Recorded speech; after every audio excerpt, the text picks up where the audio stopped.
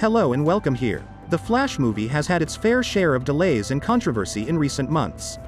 The forthcoming DCEU film was initially scheduled to premiere in November 2022, however, it was finally moved back to June 2023.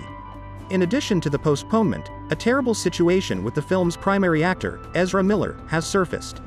In Hawaii, the Justice League actor was detained twice for harassment, disorderly behavior, and a driving infraction.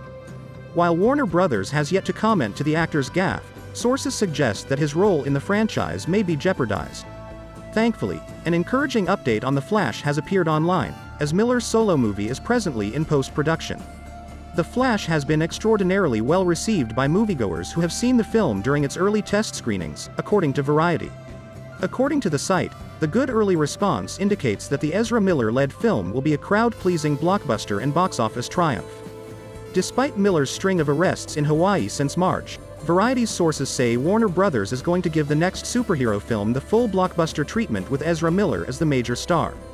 The company was said to be considering replacing Miller with another actor via reshoots, but as Variety points out, this move would be impracticable and much too expensive.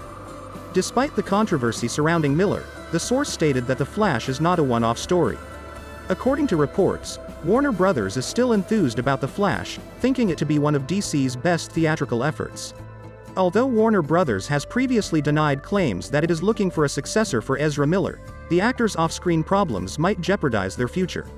However, if The Flash is a huge smash with reviewers and audiences, Warner Brothers is ready to go all in on bringing Miller back for future movies, especially following this story about the studio's enthusiastic reception to the film.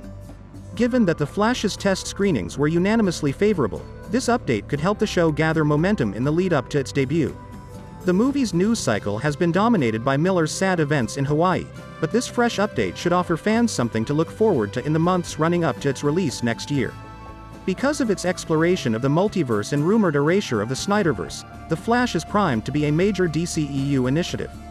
The forthcoming solo adventure might finally reveal what's really going on with the franchise, and it appears like the company will go to any length to ensure that the movie succeeds.